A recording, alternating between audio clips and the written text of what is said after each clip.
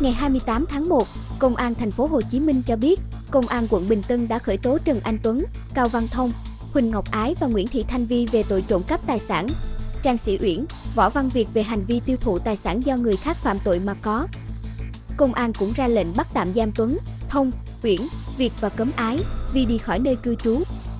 Trước đó, Công an quận Bình Tân phát hiện nhóm đối tượng thực hiện hành vi trộm cắp gương ô tô trên địa bàn do Tuấn cầm đầu.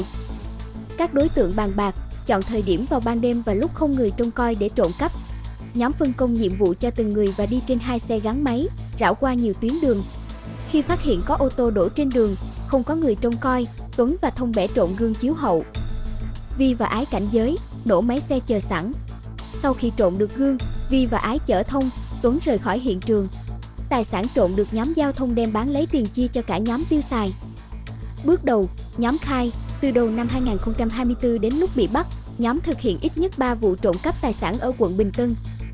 Qua mở rộng điều tra, công an kiểm tra các điểm thu mua gương ô tô của nhóm trộm nên mời Uyển đến làm việc. Uyển khai, sau khi mua, Uyển bán lại cho Việt, chủ cửa hàng sửa chữa ô tô ở quận Bình Thạnh. Khám xét nơi ở các đối tượng, công an thu hơn 270 cặp gương chiếu hậu của xe ô tô. Theo công an, Tuấn cùng Thông, Ái, Vi đều sử dụng chất ma túy. Tuấn, Thông đều có tiền án tiền sự. Vì có tiền sự về hành vi sử dụng trái phép chất ma túy, Uyển có hai tiền án về tội tiêu thụ tài sản do người khác phạm tội mà có.